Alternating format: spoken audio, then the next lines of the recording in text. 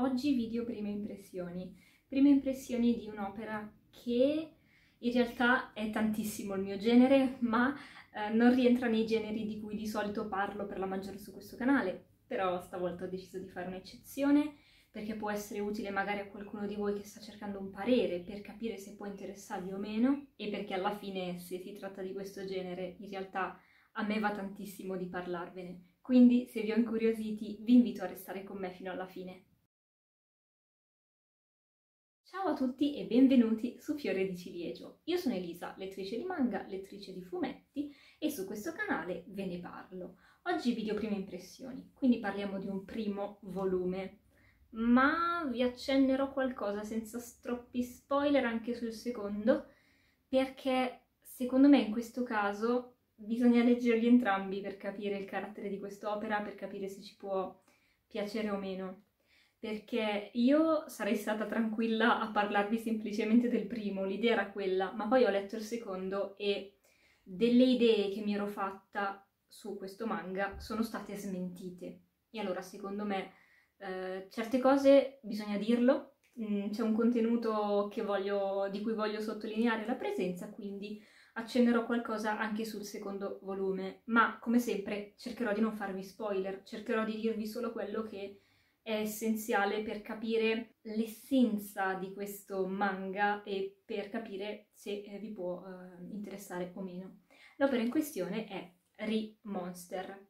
Questo Isekai, che è uscito recentemente per Magic Press, io ho letto i primi due, questo qua è il secondo, comunque sia costa 6,90 euro a volume, sovraccoperta come al solito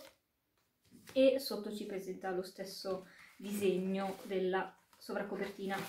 Questo è un isekai e io di isekai di solito parlo solo nei video acquisti letture. Non so se ci ho mai dedicato proprio un video a una di queste opere, però puntualmente un po' me ne pento, perché ok, se mi seguite forse mi seguite per altro, ma eh, a me fa piacere parlarvi anche di queste cose e appunto magari sono utili, sono interessanti per qualcuno.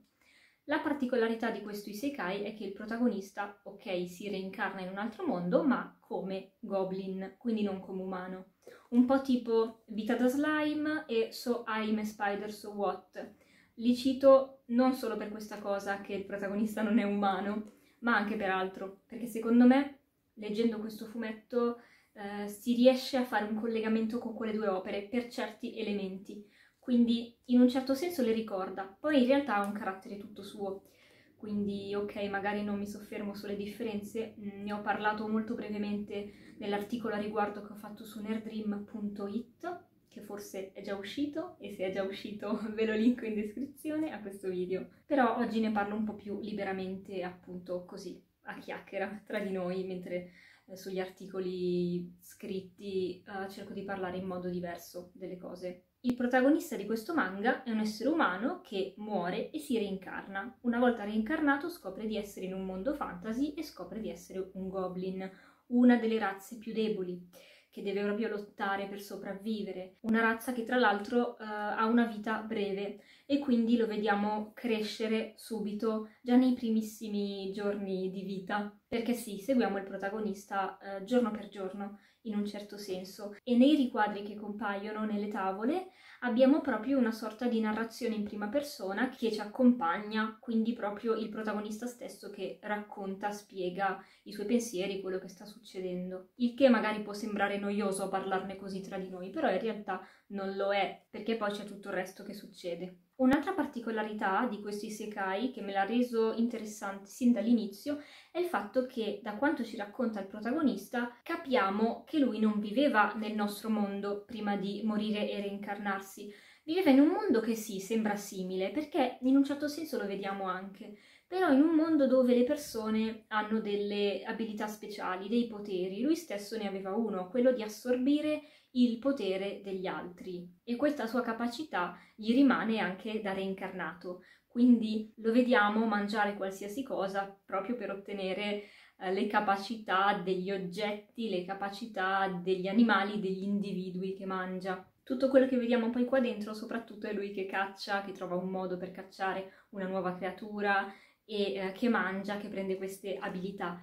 Comunque non lo fa da solo perché eh, c'è un piccolo gruppo di, di, compagni che diventa sempre più folto che appunto lo segue, anche perché avendo questi ricordi di un'altra vita, lui non è puramente un goblin che prova a sopravvivere e non sa come fare, però ha un intelletto più sviluppato degli altri e quindi subito si ritrova con delle persone al suo seguito. Io questo primo volume l'ho trovata una lettura molto leggera, proprio perché mi è sembrata anche un po' ripetitiva in un certo senso, Insomma, ok, il protagonista passano i giorni, impara cose nuove, eh, mangia cose nuove, eh, degli, degli, altri personaggi gli si avvicinano, poi scopriamo anche la possibilità di evolversi, quindi non è che deve per forza restare eh, un goblin per come noi l'abbiamo visto sin dall'inizio. Già in questo primo volume c'è anche un primo approccio con gli umani e c'è la considerazione che i goblin hanno degli umani e eh, che va però in conflitto con quella che è il protagonista degli umani, perché lui in un'altra vita è stato umano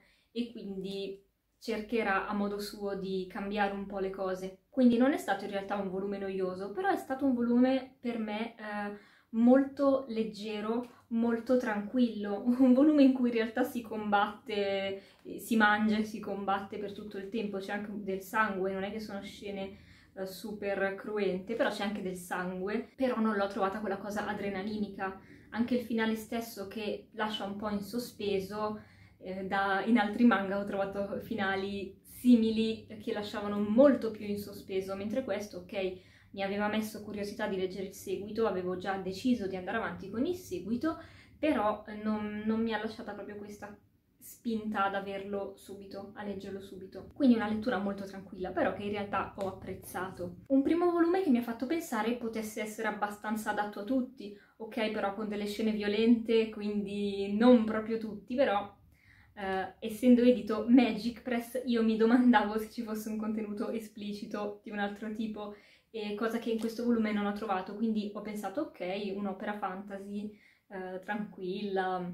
va bene, un isekai di questo tipo, perfetto. E in realtà questa mia impressione è stata smentita nel secondo volume, per questo ci tenevo ad accennarvi qualcosa in questo video, perché ok, le mie primissime impressioni sono state, tra le altre cose, che questo volume non aveva nessun tipo di contenuto ecci, nessun tipo di contenuto esplicito, ma se io vi presento l'opera così, in realtà l'opera non è così, perché nel secondo volume calca molto di più la mano su questo aspetto che invece è presente e che di conseguenza io ehm, immagino che sarà sempre più presente, siamo solo all'inizio, perché anche se i personaggi femminili che compaiono qui dentro non gravitano proprio tutti intorno al protagonista, come avevo avuto impressione sin dall'inizio, in realtà tantissimi lo fanno. E protagonista, Goburo, non è il solito protagonista dei, dei, manga isekai che non si accorge che le altre ragazze, che nel suo party dove sono tutte ragazze magari, in questo caso no, tutte sono interessate a lui, non se ne accorge e Goburo ha modo di accorgersene e ok, gli va bene questa situazione con tutte le sue conseguenze. Quindi abbiamo un vero e proprio harem